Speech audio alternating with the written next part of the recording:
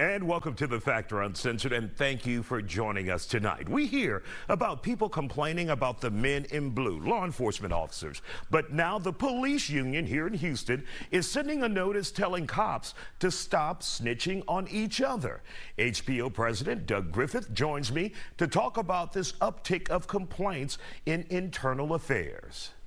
And Doug, you guys had to tell some of your officers stop snitching on the small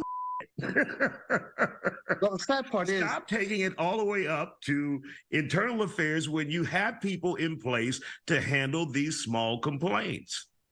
correct. We have a ton of complaints. Obviously, you know, we're going to expect citizen complaints. That's going to happen. Uh, for 2 million contacts in a year, we only have about 250 to 280 citizen complaints, which I think is phenomenal. Yeah, it is. Doing it right. But we have over 800 internal. A lot of those are little nitpick things. You know, hey, I forgot to go to in service, forgot to tell my sergeant. Uh, you know, I went to, I didn't go to court. You know, little things like that that are just a lapse in memory or whatever. hmm We don't need full ID investigations for that.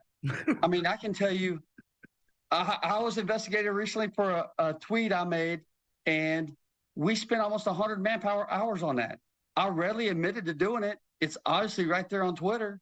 It's not a big deal for me. Why are we doing all these investigations on it? You know what I mean? Why are uh-huh. we spending all these manpower hours when we could be out there actually investigating crimes? Now, I understand if we have an incident where we have an officer that's alleged misconduct that is, you know, egregious, sexual in nature, Mhm. racist, homophobic, uh, whatever, use of force. We get that. We have no problem with our investigations on stuff like that. But it's the nickel and dime things that, you know, I get in an argument with a, a coworker and they all of a sudden want to drop a complaint. And then you've got the whole divisions having to write letters on it. That's manpower hours wasted. It really is. When this could be handled with a conversation, commander can bring him into his office, let him sit there, hash it out, shake hands, and move on. I mean, we used to do that all the time. And in Mhm. fact, I made the comment in there, you know, behind the nearest station, we pull over, have an adult conversation, shake hands, and move on.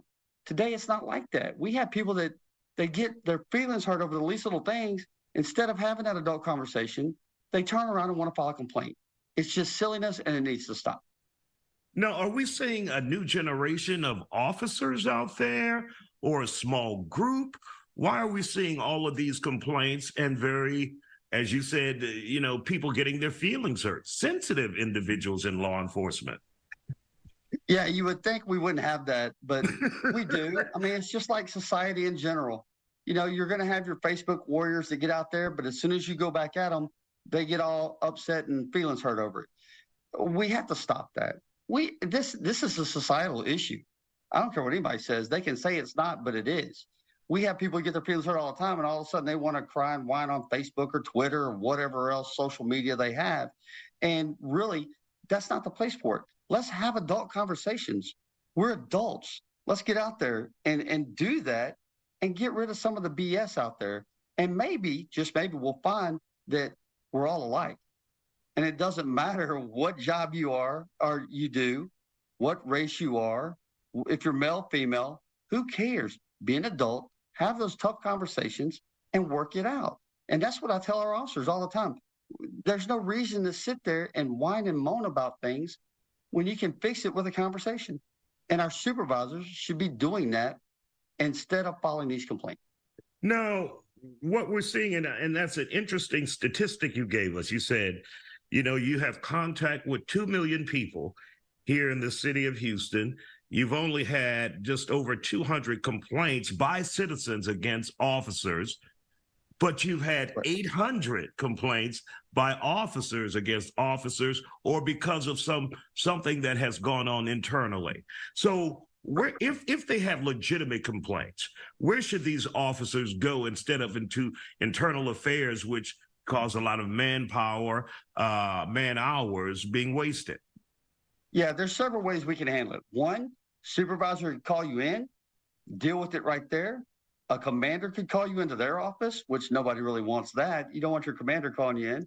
Uh, but we also have uh, a dispute resolution division. We have a group that does nothing but deal with dispute resolution Mhm. in between coworkers, supervisors, or whatever it is. And we could handle a lot of these things through that instead of going through internal affairs, having complaints filed, and and then people were getting disciplined over silly stuff. Well, we got you, uh, Doug. We appreciate your time. Doug Griffith, the president of the Houston Police Officers Union. We appreciate your time, and hopefully they will use the resources instead of internal affairs.